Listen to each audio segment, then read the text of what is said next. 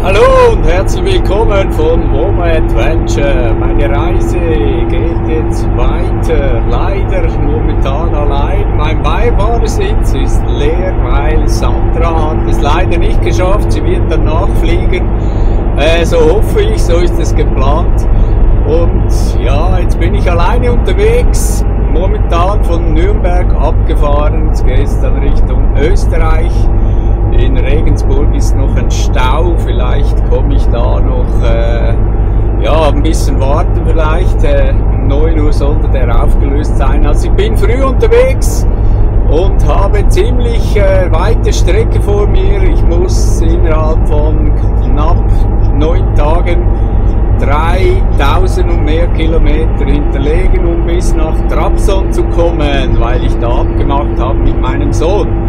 Also, jetzt nehme ich euch mit auf diese Reise in den Balkan rüber. Ja, zu dieser Zeit wusste ich noch nichts mit meinem Mautmalheur in Ungarn, was da auf mich zukommt. Ich bin ja schon ein paar Mal durch Ungarn gereist und ich dachte, ja, ist alles so wie immer.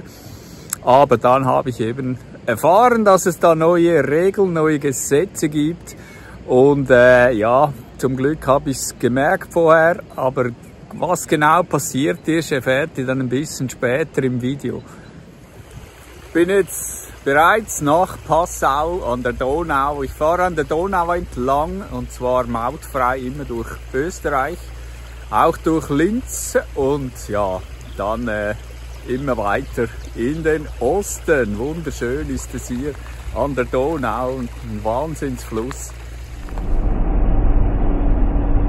fahre weiter an der Donau entlang und es ist eigentlich wunderschön und geht auch gut, das Ganze mautfrei, weil ich kein, keine Lust habe, auf diese Asfinag reinzufallen. Ja, deswegen fahre ich da. Dauert ein bisschen länger, aber ich schaffe es, glaube ich, in einem Tag durch Österreich zu fahren. Also eigentlich eine schöne Strecke entlang der Donau, ist natürlich nicht immer so schön, aber äh, ja, es passt. Äh, übrigens, tanken, Diesel habe ich immer noch von der Westsahara drin. Ich überfahre eigentlich ähm, Frankreich, Deutschland, Österreich und mal schauen, in Ungarn tanke ich vermutlich ein bisschen nach, weil dann kommt Serbien, da ist es auch nicht günstig. Ja, und dann wäre dann irgendwann Bulgarien, da kann man auch tanken oder dann spätestens Türkei. Ach, ist das schön, ne? Bei Ips bin ich über die Brücken jetzt das Ganze von der anderen Seite her mit ein bisschen Gegenverkehr.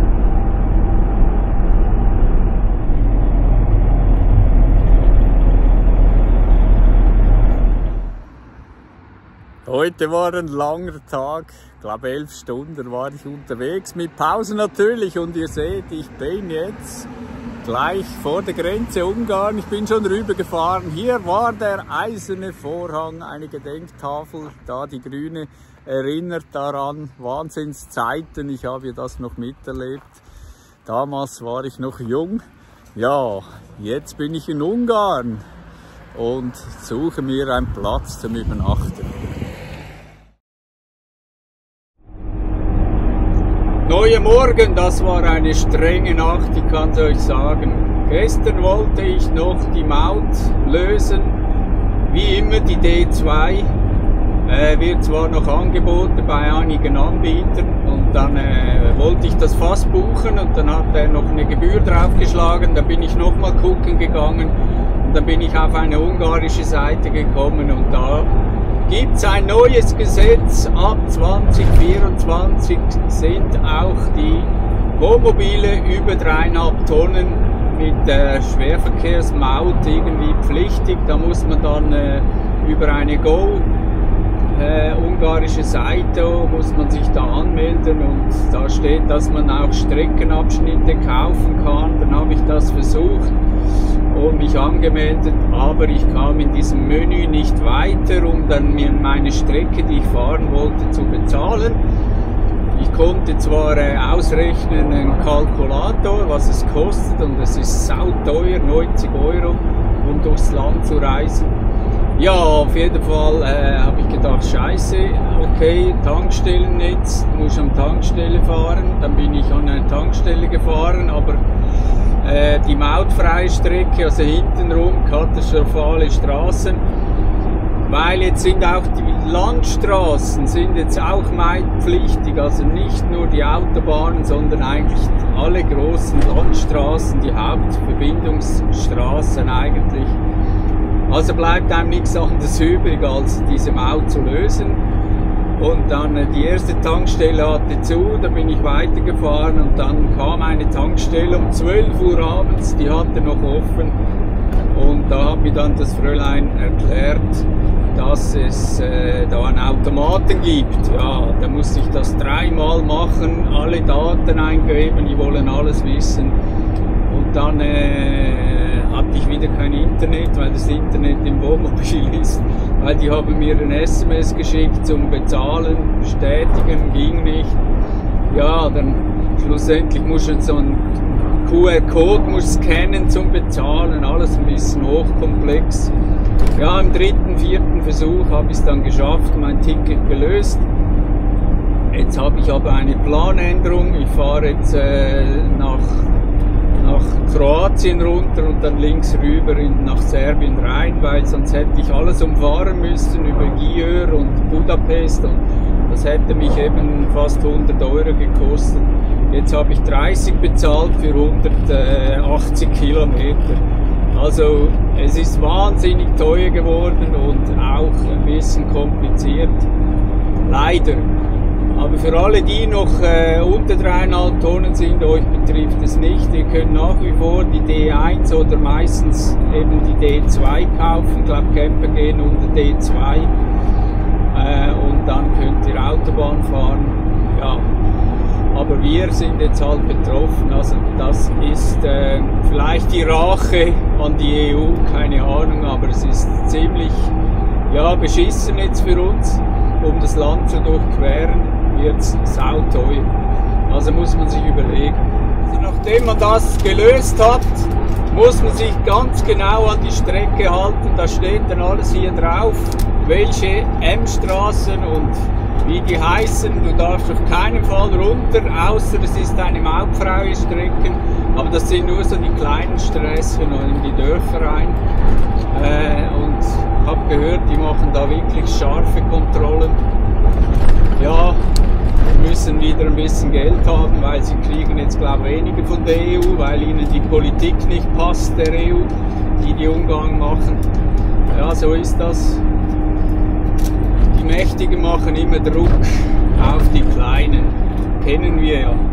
Also ich bin jetzt auf einer Landstraße, auf der 84 genau, und ich habe gesehen, da oben sind Kameras, die registrieren also, es ist unmöglich hier mautfrei durchzufahren durch dieses Land, weil die kommen immer wieder, diese Kameras. Naja, jetzt komme ich da in Ungarn mal in eine Gegend, wo ich noch nie war. Ganz einfache Dörfer.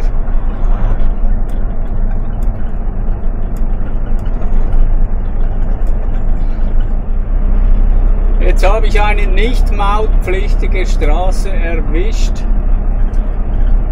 Und die ist also katastrophal, da würde ich niemandem empfehlen durchzufahren. Ich fahre Richtung, äh, wie heißt das, Becks, glaub, nach Kroatien runter. Also die Straßen hier sind eine Katastrophe.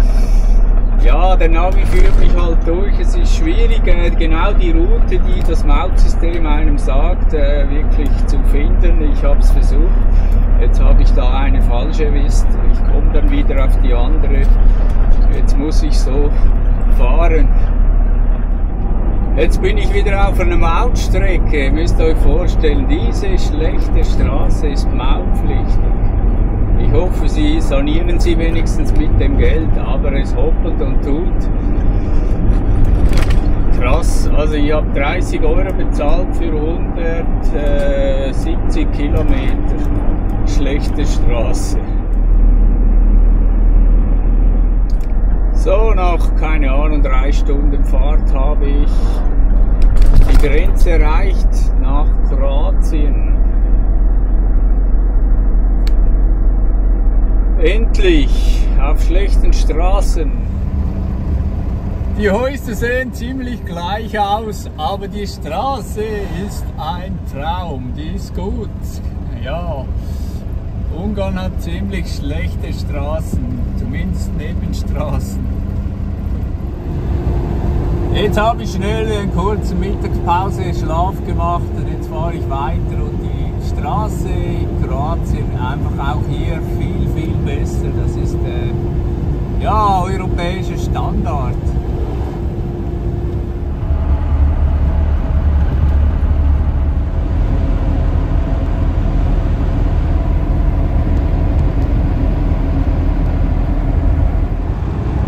Jetzt bin ich auf der, äh, auf der kroatischen Autobahn und fahre so nach Serbien rüber und ich bin fast der Einzige.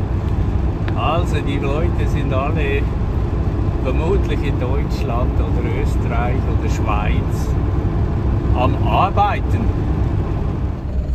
Jetzt bin ich an der Grenze zu Serbien von Kroatien her. Drei Länder in einem Tag gestreift. Aber da fahre ich jetzt nur rüber und dann suche ich mir einen Platz. Das war jetzt der kroatische Grenze, jetzt kommt der serbische da vorne und ihr seht, da gibt es viel mehr Insekten. Die ganze Scheibe ist voll, wie früher auch bei uns vor 40 Jahren, aber das ist längst vorbei. So, ich bin drin. Die Serben sind relativ nett. Und gleich da vorne rechts habe ich einen Fluss gesehen und suche, mal gucken, ich finde da sicher einen Platz. Ja, gar nicht so einfach einen Platz zu finden. Da ist der Fluss, leider hat es keinen Platz gehabt, da wo ich dachte, mal schauen, vielleicht irgendwo im Dorf. Über sieben Brücken muss man gehen und ich glaube da hinten rechts, da habe ich einen Schlafplatz. Ach, ist das schön. Das sind noch richtig schöne Naturflüsse. So, ich habe einen super Platz gefunden und esse Raclette. Ich habe da einen Nachbar, das ist ein Fischer. Und hier ist Glas Wein wieder einmal und hier ist äh, der Fluss, wunderschön. Äh, das ist der mit dem Wohnwagen, der geht jetzt fischen. Und da hat es noch andere Fischer, die stören mich nicht. Äh, wunderschön und in Serbien kann man einfach überall stehen. Du kannst den Wohnwagen hinstellen, die sagen nichts. Ja, die Serben sind nett, muss ich sagen. Ich habe jetzt gerade einen Cola gekriegt. Ich habe Cola extrem gern, habe aber ein halbes Jahr keins mehr getrunken, weil ich äh, damit aufgehört habe. Aber das gönne ich mir jetzt wieder mal ab und zu eins. Schadet nicht, dauernd schadet natürlich.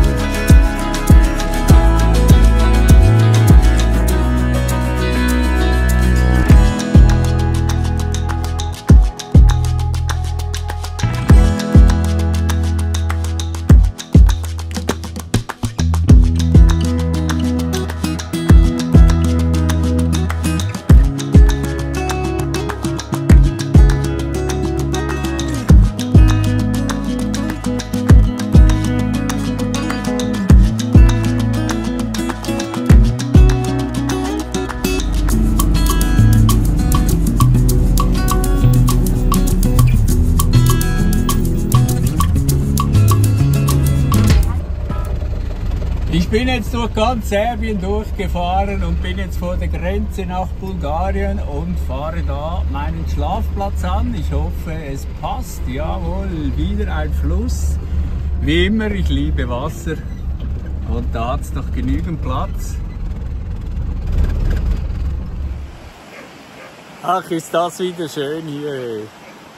Und man kann einfach überall sich hinstellen kein Problem. Es hat hier auch, ich habe glaube keinen einzigen oder vielleicht einen Camping äh, gesehen, ein Campingcar, sonst gar nicht. Da vorne kommt uns gleich ein Hirtenhund besuchen, da ist nämlich eine Schafsherde, aber äh, ich sehe da kein Problem. Wir sind auf Abstand und der kam zu uns und jetzt sagt man Hallo.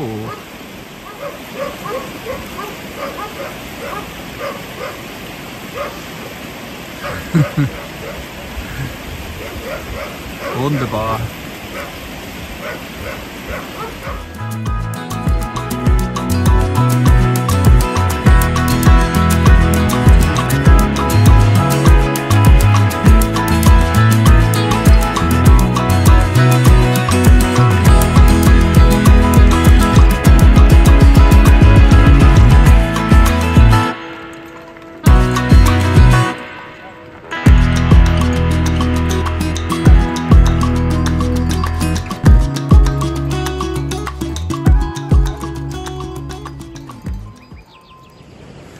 Also Serbien ist wunderschön, die äh, Leute sind nett. Gibt auch viele, die Deutsch können, weil die sind ja bei uns am Arbeiten. Ja, aber ich habe leider nicht allzu viel Zeit. Ich bin jetzt zwei Nächte nur in Serbien geblieben. Morgen geht es dann weiter äh, über durch Bulgarien. Da bleibe ich auch nicht lang. Dann in die Türkei vorerst mal und dann äh, ja genieße ich es noch ein bisschen länger in der Türkei und Ende des Monats geht es dann rüber nach Georgien und Anfang Mai dann nach Russland rüber, da freue ich mich schon und später dann Kasachstan und so weiter, ja. Okay, schön wart ihr dabei und ja, ihr hört wieder von mir und ansonsten Instagram, da gibt's ab und zu jetzt wieder mal ein bisschen mehr Infos, Fotos, wo ich gerade übernachte und so weiter. Oder eben Polar Steps, da seht ihr genau meine Route. Ja, genau, also, wie immer, macht den Daumen hoch, empfehlt mich weiter, wenn es euch gefällt und wir hören uns. Und tschüss.